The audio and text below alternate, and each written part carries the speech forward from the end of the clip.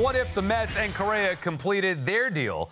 Todd, would the Mets be set up better or worse moving forward if they had Correa? I mean, I think the obvious answer they'd be set up better because the guy would have been playing third. That was a revolving door uh, this year. I think there's still a lot of questions as to where that is going, um, you know, after 2023. So, yeah, would they have been better off? Yes. But I would have heard a lot of complaining this year by one, you, for one, uh, if, no. if Correa puts up the kind of year that he did, um, you know, quite honestly, in Minnesota and was doing it for the New York Mets with $300 million uh, contract, we would have been hearing a lot of the same disgruntled sort of attitude about overpaying for a guy and extending a contract where a guy could potentially not have the health to live it out as well. So would he have been better? Yes. Do I think it was still the right decision to let him go do what he did? Yes. I think the Mets are in a better overall position now with the flexibility that they have at that position, as opposed to looking at him in the playoffs where he's always good and saying, "Boy, wouldn't it have been cool if?" Because it, you would it would require six months of amnesia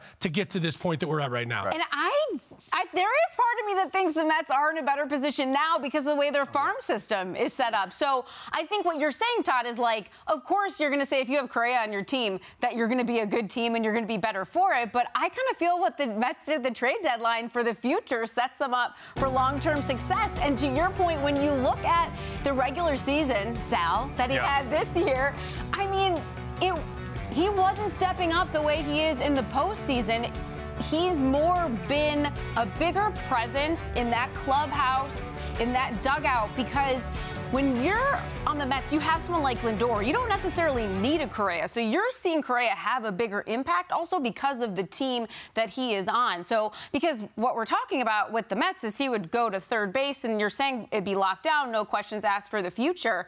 But I don't really think when you look at what where the Mets underperformed, yes, they're looking for a third baseman. I don't necessarily think that that's, you know, he would change how this mm-hmm. team would have played this year and that would have solved everything. His, I like that they're building up the farm system. His regular season would have been a disaster here. I agree with you. And they wouldn't have been in the postseason. You know what Correa would have been a perfect fit for? The 2022 Mets. Unfortunately, that was a move that could not happen.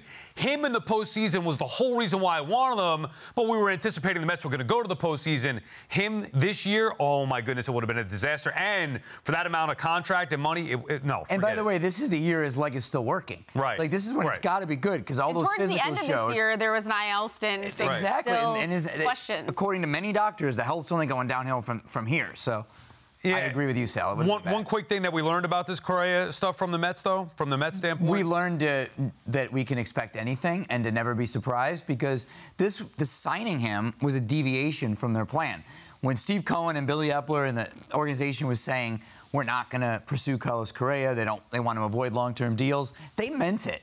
But then a call from Scott Boras, a martini, and a lot of money, and all of a sudden Carlos Correa is going to be a Met. And what that showed me as someone who's going to cover this team is don't speak too definitively on this show or you know in my in my columns or anything because something can be true in a moment. But Steve Cohen is a disruptor.